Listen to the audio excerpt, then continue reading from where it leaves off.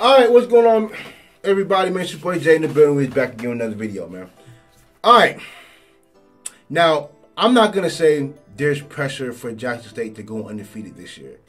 I'm not gonna say that because at the end of the day, football is football, and it's any given Saturday. You know, but I do believe that there's pressure for for them to not only win the SWAC and go back to the Celebration Bowl, but possibly win it. There is, I do believe that there's pressure there. I also believe that there is pressure for Jackson State to come out and win this game.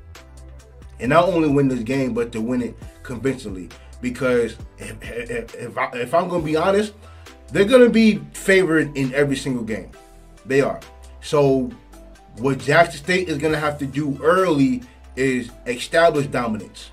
You know, look, like I said before, fam, you know, Jackson State poses a different threat to, you know, what Carolina did.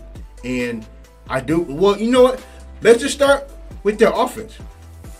Jackson State's offense is, I believe, is gonna is more explosive. Matter of fact, they're going to be the most explosive offense in the SWAC because they their their receiving corps alone, I believe, is is the best in the SWAC. And it's gonna be a lot different than what FAMU faced last week because they had Josh Downs, the only receiver, and and the rest of them were tight ends and running backs that really killed FAMU. It was only one receiver that killed them. You know, and this game is going to be entirely different because Jackson State, I believe, is going to just spread the ball out four wide, five wide, trips, bunch, double tight.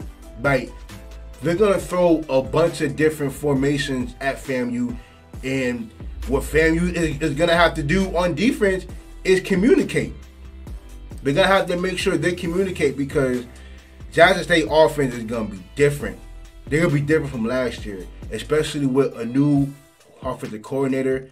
Now, I do believe that they are going to try and establish the run game, you know, because I think that was difficult for them last year, not only because of the running backs they had, but because of the of the of the offensive line that they had. Now, it's going to be different because Jackson State is coming in with a possibly with a brand new offensive line and with with some more with new and better weapons at running back. You know, so I do believe Jackson State is gonna try and establish the run first. But for the most part, man, even if the running game don't work, the passing game really is what got them in the Celebration Bowl. Because if Shedeur Sanders has time, mind you, he got sacked 30 times last year, which was the most in the SWAC, and they still made it to the to the Celebration Bowl. So imagine with not only great protection, but for him to have four, five seconds in the pocket and he's able to find his receivers.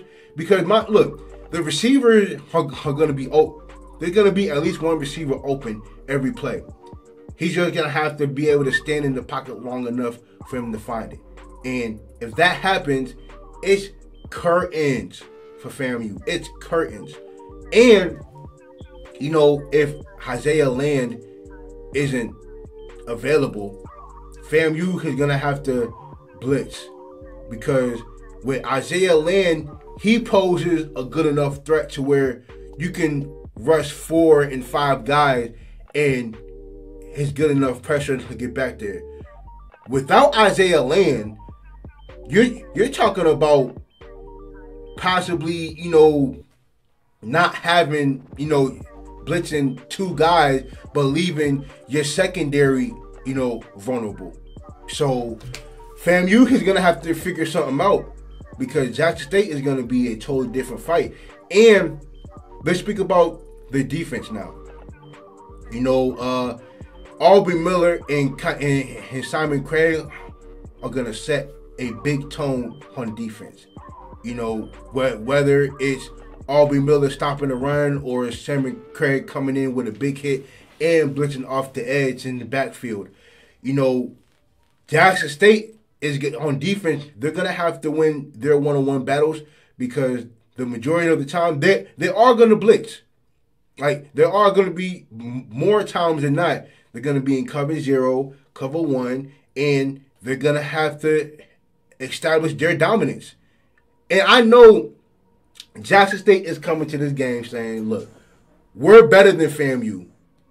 We may not have to throw a bunch of different coverages at FAMU in, order for us to win. They can go in there and play strictly man the entire game, but I don't believe they're going to do that because Jeremy Moussa is a real good quarterback.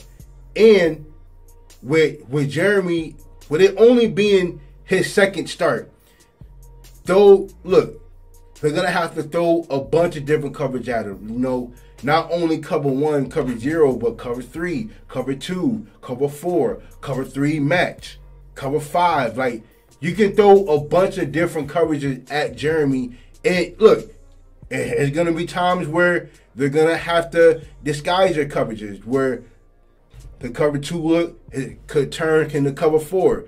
That cover two look can turn into cover three. You know, that cover zero look can turn into cover two. You know, so they have a bunch of different things that they should throw at Jeremy just to throw him off. You know, but I do believe that Jackson State has guys that can get in the backfield without blitzing. Like they don't even have to blitz in order to get in the backfield because I do believe Jackson State has that many weapons on defense to where they wouldn't need to blitz but I do believe they are going to blitz a lot, and they're going to put Jackson State in uh, in a state where they're going to be playing man the majority of the time, you know. But um, I definitely want to see what Travis Hunter looks like. This is, I mean, look, Travis. This is going to be Travis Hunter's first college game, and this is with him coming off a off an injury. So I'm to be real interested to see how he looks come Sunday. If he does play the majority of the time, um, Shiloh Sanders, I'm sure, is probably not to play. So we're probably to see some Jalen Alexander, to see some Gregory Great. I know John Huggins is to be out there.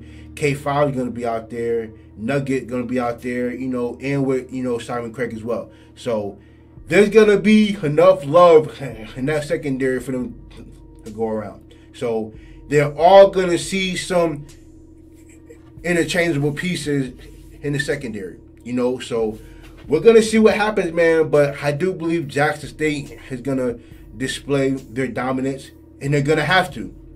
Because I do believe if Jackson State wins this game convincingly, I'm talking about in double digits, it could be trouble for the rest of the SWAC. Because if Jackson State can do that to FAMU, it could be curtains for the SWAC, man. But I can't wait to see what happens, man. This is gonna be it is gonna be a very interesting.